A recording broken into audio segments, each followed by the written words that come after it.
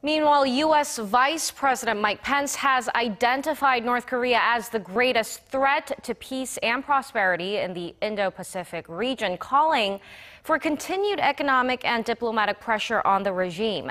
Pence made the remarks during his address to the U.S. India Business Council on Tuesday. Calling the North a brutal regime, he also stressed that close international coordination is essential until Pyongyang permanently abandons its nuclear and ballistic missile programs. Pence also thanked India for its leadership in fully implementing UN sanctions against North Korea.